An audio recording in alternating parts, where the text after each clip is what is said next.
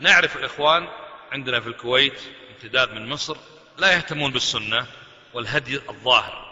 أكثرهم على إسبال واللحية إن لم تكن محلوقة فقريبة من الحلق. لكن نجد هنا الناس الطريقة طريقة إخوانية والهدي والسمت سني لحايا ولباس وسمت ولكن الطرح والكلام تجد فيه غرائب. حتى جاء بعضهم ذات يوم اجتمع معنا فقال هل تظن أن السعودية دولة إسلامية؟ تعجبت أنا من هذا الكلام. نعم دولة إسلامية وهذا كلام العلماء. قال لا هي إلى العلمانية أقرب. عندهم أفكار تكفيرية وعندهم تخطيط وعندهم تنظيم حتى أنهم يلتقطون من طلاب الشيخ إلى رحلات خاصة.